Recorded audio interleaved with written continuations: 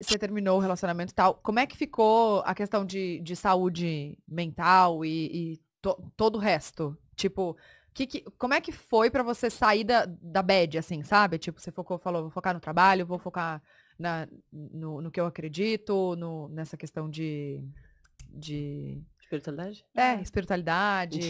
de. E fundo. Não, eu ia falar desse lado místico. Então, na verdade, todo final de relacionamento é horrível, né? Uhum. Todo mundo sofre. É muito Uhum. difícil para todo mundo. Mas é muito mais difícil quando você está sendo exposta o tempo todo. E foi.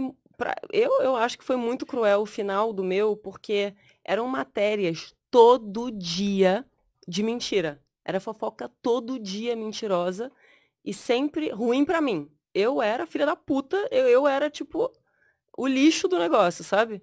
Então, tipo, término de relacionamento já é difícil, já é uma merda, você tá sofrendo, e ainda ter tudo isso, essas matérias saindo o tempo todo, e a galera, tipo, falando com tanta certeza nos comentários, como se elas te conhecessem, como se elas Nossa. dormissem na cama do seu lado. Não, de fato, ela fez isso. Não, realmente, ela é assim. Não é, não, super falaria isso. Não, super faria isso. Então, tipo assim, é muito difícil, porque, cara, eu juro, eu senti que, tipo, tava todo mundo contra mim. E eu tava sozinha. Então, tipo assim, eu numa época até, eu não queria nem sair de casa. E não por estar sofrendo, mas por estar com medo do que as pessoas pensavam de mim. Porque eu tava vendo, tipo, uma imagem tão surrealmente longe da verdade sendo criada que eu não queria sair na rua. Eu não queria porque eu imaginava, tipo, entrando num restaurante e eu já imaginava todo mundo me olhando, pensava aquilo de mim. Então eu falei, cara, gente, eu não quero mais sair, tipo, eu vou, tipo, vou ficar eremita, porque assim, eu não quero ver esses olhares. Eu sei que as pessoas pensam de mim, não é verdade.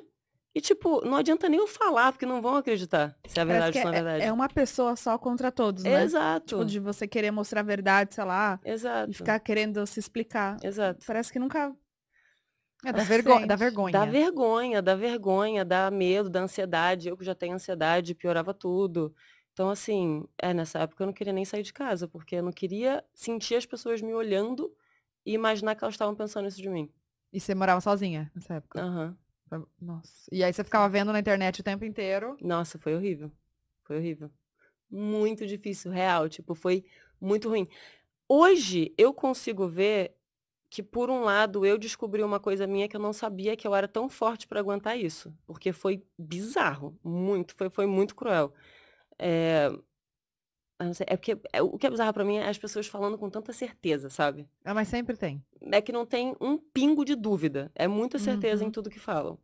Então, é, não foi Mas bizarro. quem que falava isso? Tipo, jornalistas ou a Jornalista. galera que nos Instagrams de fofoca comentários. também, né, Jornalista. Instagram de fofoca, comentário, matéria, tipo, tudo que você possa imaginar, do menor ao maior.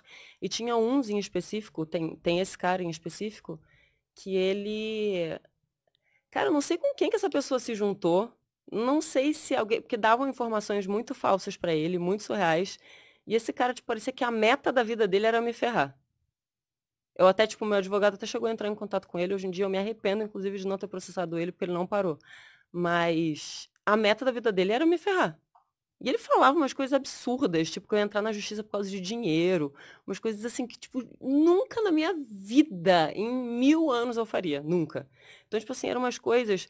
E eu sabia que não adiantava falar. E se você fala, você ainda alimenta a fofoca. E quem não viu, aí começa a ver. Então, tipo, é uma coisa que é muito ruim a sensação de você se sentir. É, como é que é o nome? Injustiçada. eu. Injustiçada, mas tipo, quando você não pode fazer nada. Sabe? Uhum. Sei. É horrível. Impotente. né? Impotente, exato. É muito ruim. Uhum. Tá, e aí? Aí você falou, vou ter que deixar passar. Vou- Aí eu pensei, cara, ou eu falo tudo, só que aí eu acabo expondo coisas que eu não sei se eu ia querer expor. Ou eu tenho a paciência da vida que não é meu forte, surto com as pessoas próximas, que foi o que eu fiz. Coitado de quem tá próximo. que é Nossa, meu pai ficou aqui comigo em São Paulo, me ajudou muito. Nossa, muito, muito, muito, muito, muito. É, E as minhas amigas, óbvio, minha mãe, todo mundo. Mas, é, e aí foi isso. E aí eu pensei, cara, ou eu vou ter que. É que pra falar, pra explicar, eu ia ter que falar muita coisa, sabe? Uhum. Ou eu espero um tempo e a verdade vai aparecer. Eu sou muito dessas de acreditar que a verdade um dia sempre aparece, sabe? Uhum. O duro é sofrer esse tempo O inteiro, duro né? é você esperar se a verdade aparecer, É. né? E se não aparecer, né? Não, vai aparecer. Eu, vai, vai aparecer. Então vai, tenho fé. Não E aí- aceito. Tá, e aí, como é que. Qual, qual foi sua, sua válvula de escape pra passar por tudo isso? Você, Meditou. você focou no Comecei quê? a meditar, meninas. Agora eu tenho uma meditação. Era, o que que, eu- o que que eu fiz? O que que eu foquei? É porque eu, qualquer BO que dá na minha vida, eu falo, cara, eu vou focar no trabalho. E você pode ter certeza que eu vou ser a melhor no meu Ah, trabalho. eu foquei no, Fica assim. é, eu foquei no trabalho, eu foquei na minha marca. Foi aí que, tipo, comecei a realmente... E todo mundo falava, foca no trabalho, foca no trabalho, foca no É. trabalho, faz alguma coisa pra você. E na hora você tem vontade de falar, vai. Mas o caralho, eu quero, Fazer tipo, sabe? nenhuma. Porque é muito difícil, sabe? Mas aí eu comecei a focar no trabalho e realmente foi... É uma válvula de escape incrível. E aí foi quando você, Hum. deu vida a Yasmin Beauty, é isso? Exatamente. Foi aí quando nasceu Yasmin Beauty. Foi aí? Foi. Aham. Uau. É porque eu recebi. Foi, eu acho que foi lá por fevereiro, março, é, É. isso, né? Uhum.